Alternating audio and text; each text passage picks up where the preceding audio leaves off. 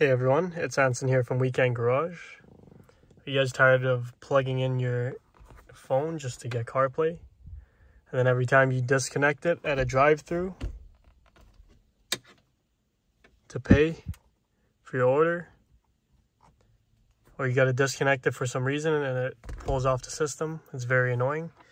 Today I'll be showing you a solution so you won't need this anymore. This is the cheapest solution instead of changing the whole head unit to Uconnect 5, which I've tried. I tried to switch it over to the Uconnect 5 12.9 or 12.1 inch display. With the radio module, I bought everything, the conversion. I think I spent almost 5000 and it didn't work out. So I'll show you guys down the road, but here is a cheap alternative. It's called Ottocast. I'll link it in the description down below essentially what it is, it's, it's a little dongle that looks like this. Then we're to plug it in here.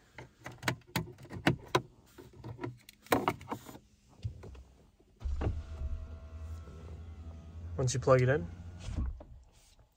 it'll act like a receiver for your phone for wireless CarPlay. So it'll look like that all the time. And then your phone would pair with that Bluetooth wireless CarPlay receiver. You see how quick that was? Wirelessly, it'll sync up. So everything works on here. If I was to open, I can't play Spotify because it's all copyrighted, but if we go on to Teams, for example. Spotify.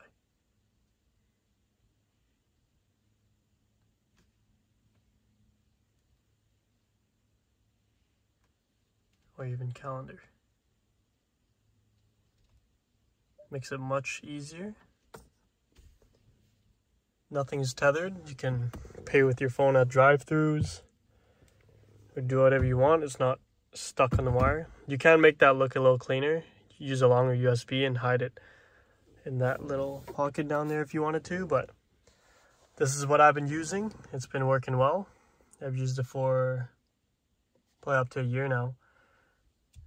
It was around a hundred bucks at the time of purchase, 150, I don't recall.